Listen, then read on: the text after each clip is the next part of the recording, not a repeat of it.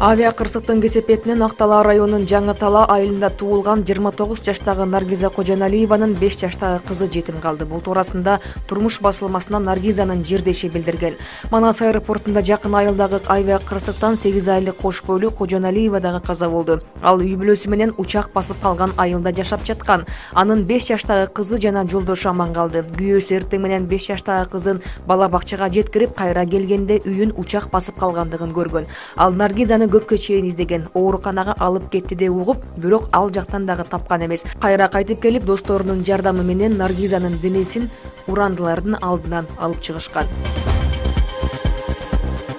транспорт министрлиги билдиргендей эл аралык авиациялык комиссия кечээ биздин өлкөгө келди анын төрагасы леонид каширский эки миң сегизинчи жылы жыйырма төртүнчү августта кыргызстанда болгон аба кырсыгын иликтеген эске сала кетсек анда боинг жети жүз отуз жети учагы тегеранга бет алып манас аэропортунан он чакырым аралыкта кулаган бортундагы токсон жүргүнчүнүн алтымыш төртү анын ичинде волейбол боюнча кураманын спортчулары каза тапкан анда каширский жетектеген иликтөө тобу аман калган лайнердин капитаны жана экинчи учкучу беш жылга эркинен ажыраткан. Бул туурасында новости kg сайты жазды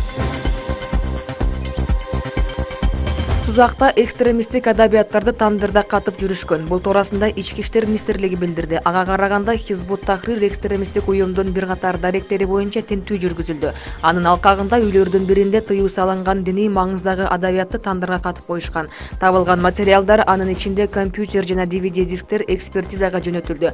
Кошумчалай кетсек алдын ала иштеринин алкагында жалал абадда былтыр алтымыштан ашуун ашык жаран хизбут тахрир уюмуна кошулуудан баш тартышкан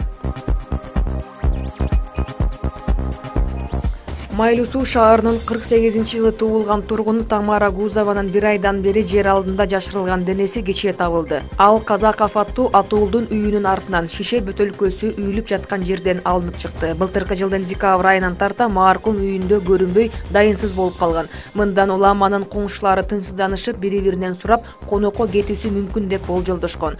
Үй ээси өлүктү тапкандан кийин гана тамара менен тааныштыгы бар экендигин сөз талашуудан улам чыр чыккандыгын айтып берген. Маркумду тапканга чейин үй ээси анын дайынсыз жоголуусуна тиешеси жок экендигин билдирип жаткан болчу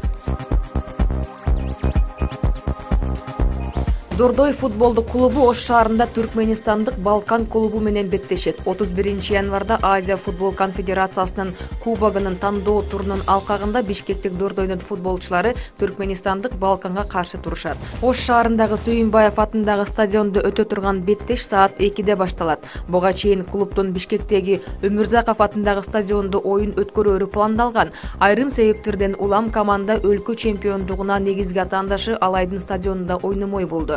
Дордойчулар менен түркменистандык команданын ортосундагы жооптук оюн жетинчи февралда түркменистанда орун алмакчы. Бул туурасында супер kg порталы маалымдады.